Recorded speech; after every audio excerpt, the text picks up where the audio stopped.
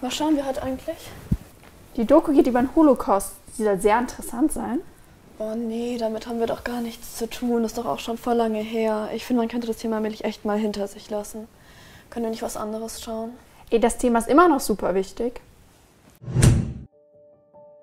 Der schuldabwehrende Antisemitismus zeigt den Wunsch danach, nichts damit zu tun haben zu wollen.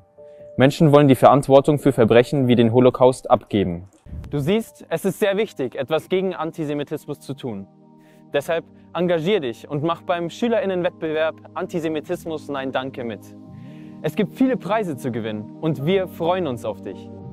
Mehr Infos über das Projekt Antisemitismus Nein Danke findet ihr hier. Ich mach mit. Ich auch. Ich auch. Ich auch. Wir machen mit. Wir machen mit.